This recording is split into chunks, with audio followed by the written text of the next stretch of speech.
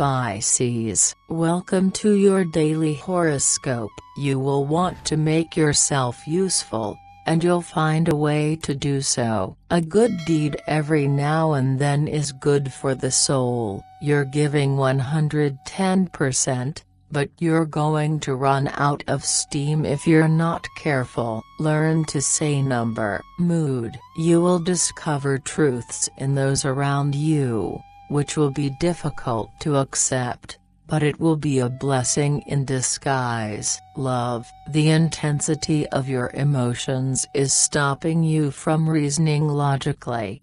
Postpone big discussions until later. Money. You get promotion and your worth is recognized. You've proved your ability and now it's time to reap what you have sown. Work. A need for reassessment will come about of its own accord. Don't take conversations off track for no reason. You know what needs to be done. Have a nice day Pisces. See you tomorrow.